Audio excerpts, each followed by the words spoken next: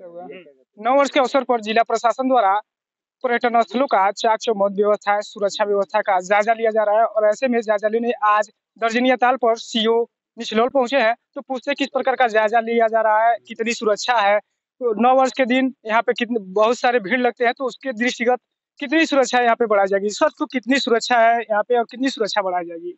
Norse पे ऐसा सभी को विदित है कि नॉर्स पे दर्जनिया तार और वी गैप जो है जिसे टेलफाल भी कहते हैं यहाँ पे बहुत अधिक भीड़ रहती है तो हम और प्रभारी निरीक्षक साथ आए हैं। ड्यूटियाँ पहले भी लगती रही इस साल भी ड्यूटी में क्या देखना है कहाँ क्या पॉइंट चेक करने हैं इस हिसाब से जायजा लिया गया है और ड्यूटियाँ रहेंगी और सुरक्षा का पूरा ध्यान रखा जाएगा सर।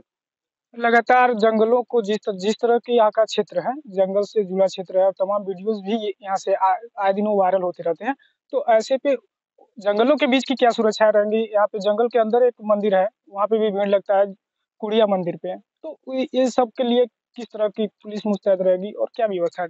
सभी स्थान जहाँ एक तारीख को भीड़ रहती है वहाँ सभी जगह ड्यूटियाँ प्रॉपर लगाई जाएँगी और बाकी जंगल के अंदर की जो सुरक्षा रहेगी वन विभाग से संबंधित है वो अपने देखें। तो हमसे बात कर रहे थे सीओ निचलोल और इन्होंने बताया कि किस तरह की सुरक्षा यहाँ पे रहेंगी। यूपी के जनपद महाराजगंज से मोहम्मद आरिफ रिपोर्ट।